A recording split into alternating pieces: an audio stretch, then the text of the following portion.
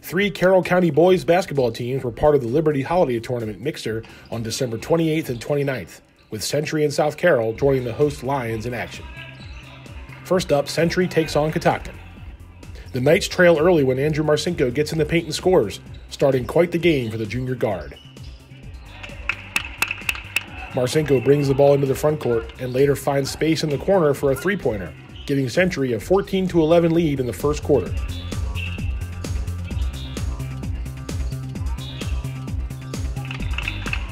Here's Marcinko to start the second quarter with another long range bucket.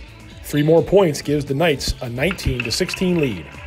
Marcinko dials long distance once again, and he's feeling it for Century.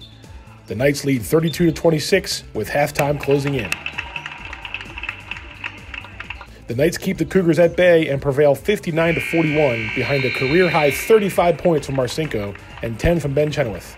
Century wins for the fifth time in six games this season.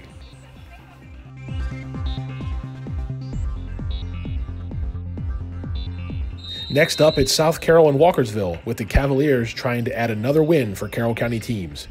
The Lions start on a 9 0 run, but SC's Carson Pavlik drains a three to keep the Cavs close.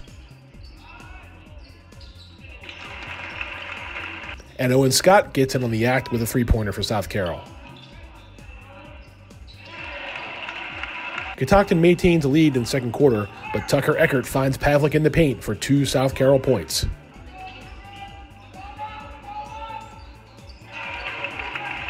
The Cavs take a 46 to 38 lead on this three ball from Eckert, which gets the South Carroll fans going.